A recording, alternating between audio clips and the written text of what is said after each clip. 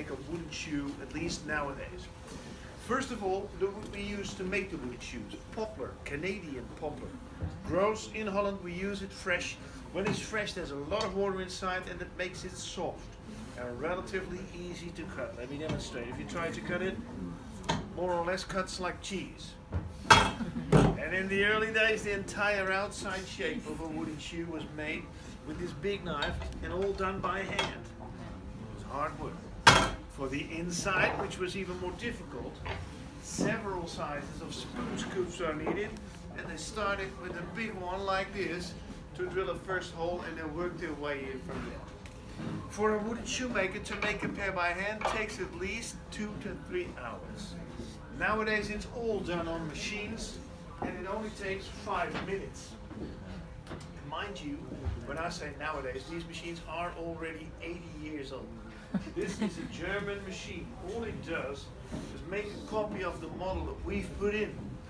In this case, the outside shape on this side. Mm. Machine will lean on that model, start to rotate, and on the other side, the knives take away the wood. Same way as duplicating a key.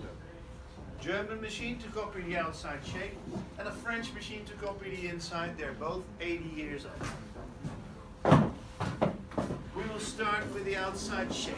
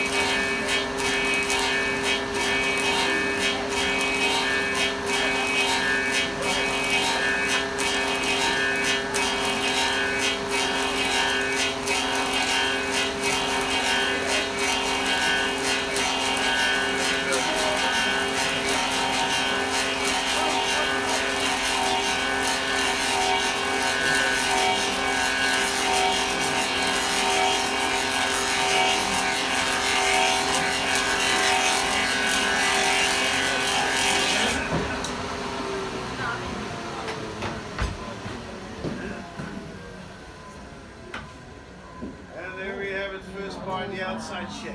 Copy of the model. Same system for the inside applies. Again, we make a copy of the model that we've put in, only this time, like I told you, on the French machine, and just as old, 80 years old.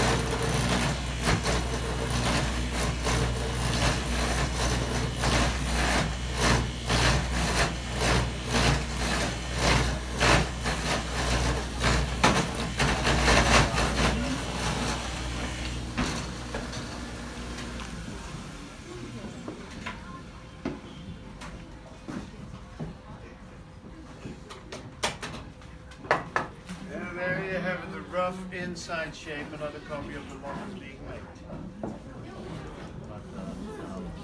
Uh, right now it's a heavy shoe. Half the weight of the wooden shoe is water from the tree because it's fresh. I will show you.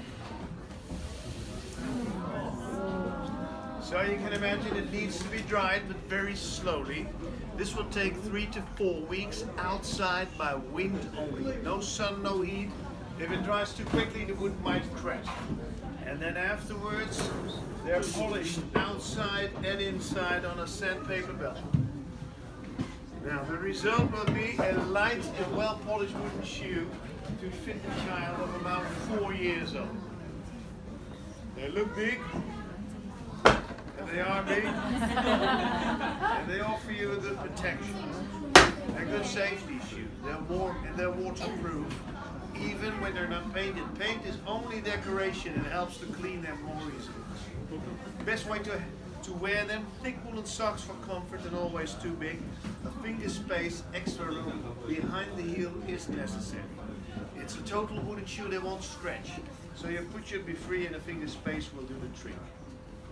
Alright, thank you for your attention. Have a look around and have a nice day.